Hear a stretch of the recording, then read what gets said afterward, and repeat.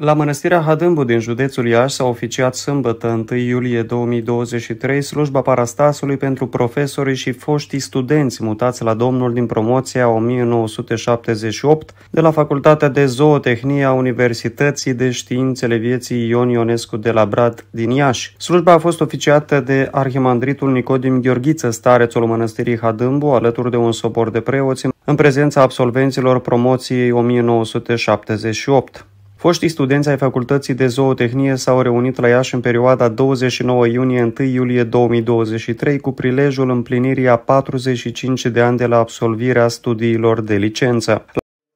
A profesorilor Ioan, Angela, Elena, Vasile, Olga, Steliana, Ioase, fie legate și în cer de către de și pe pământ sau legate.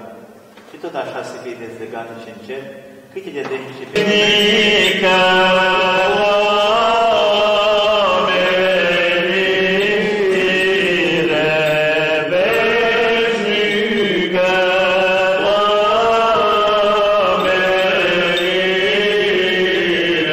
La finalul slujbei de pomenire, Părintele Stareț Nicodim Gheorghiță a ținut un cuvânt în care i-a felicitat pe participanții la întrevedere pentru grija arătată față de dascălii și de colegii lor mutați în lumea veșniciei. Rare ori întâlnim în viața noastră când cineva își poate aduce aminte de profesorii, de colegii care au fost și ați fost împreună și poate și astăzi ați venit ce v-ați reîntâlnit după atâția ani, să vă depănați amintirile din viața frăților voastre, a studenției, a facultății. Dar cel mai plăcut lucru pentru mine este că vă văd că cu adevărat ați îmbătrânit și îmbătrâniți frumos, atât timp că nu uitați de cei răposați. Ferească Dumnezeu să uităm de părinții care ne-au născut, care ne-au crescut, indiferent de funcția care o ocupăm, să nu uităm că suntem oameni, că suntem uh, creștini și avem de dat un răspuns. Trebuie să recunoaștem, să nu vă tulburați că vă spun acest cuvânt. Sunt foarte mulți care au uitat de părinții care au născut. Nu mai spunem să le pui o floare pe mormânt, să aprins o lumânare măcar o dată la unul de zile, să le înfrumuseți mormântul, fiindcă, dacă ne gândim bine, Dumnezeu știe viața lor care au avut-o, cum ne-a crescut, să ne vadă oameni mari. Observ că dumneavoastră ați fost formați și educați de părinți spirituali buni, creștini. Dumneavoastră sunteți un model viu care îl pot da pildă și la alții. Cât vă îngrijiți frumos de profesori care ați avut și că să-i mulțumim Lui Dumnezeu pentru tot, pentru toate și mă bucur că după o vreme se vede viața dumneavoastră frumoasă, atât timp cât vă aduceți aminte, nu numai de ce răposați, și de colegii dumneavoastră. Noi trebuie să ne simțim tineri până la mormânt, atât timp cât avem o viață cumpătată și frumoasă, până la mormânt. Până la urmă, vrem, nu vrem, cu toții suntem călători pe acest pământ.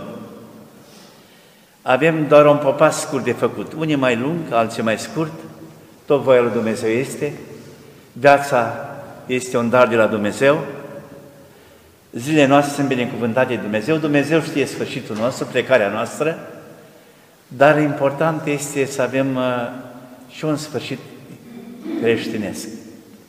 Și să ne rugăm pentru acest sfârșit creștinesc. Și să aduce slavă lui Dumnezeu în fiecare zi că existați astăzi. Că nu degeaba ați ajuns la vârsta asta și mai tot timpul am eu o scurtă rugăciune. Ajută-mi, Doamne, să-mi ajungă ani să pot și să-ți mulțumesc pentru darul care le revărsat asupra casei mele, a familiei mele și cu mine personal. Îngădă-mi, Doamne, să-mi ajungă ani să-ți pot mulțumi și să mă bucur de munca din viața mea.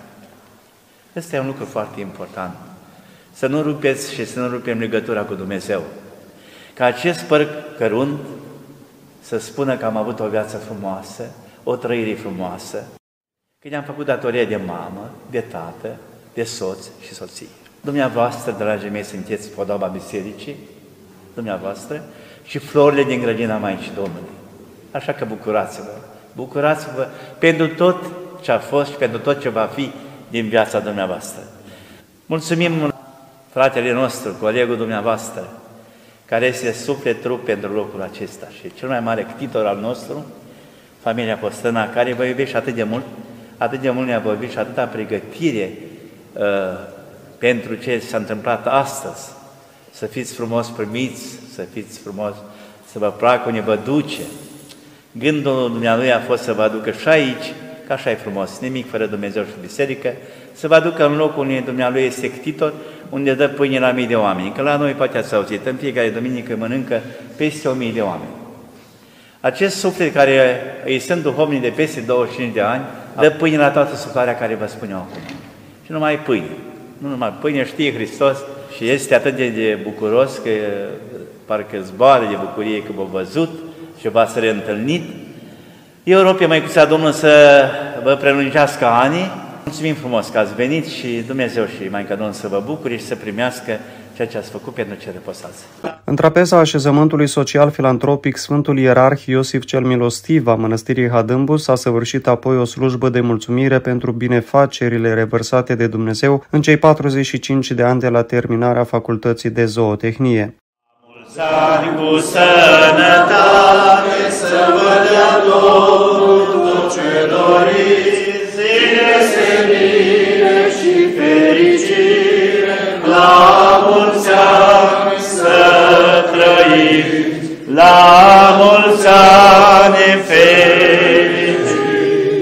Cursul festiv al reuniunii promoției 1978 a avut loc vineri 30 iunie 2023 la Facultatea de Inginerie a Resurselor Animale și Alimentare din Iași. Acesta s-a bucurat de prezența câtorva profesori și a 50 de participanți. Manifestarea a cuprins strigarea catalogului și discursurile în care au fost evocate momente frumoase din anii de formare academică. În cadrul acestui eveniment, Absolvenții și-au prezentat pe scurt realizările înfăptuite la 45 de ani după terminarea studiilor universitare de licență.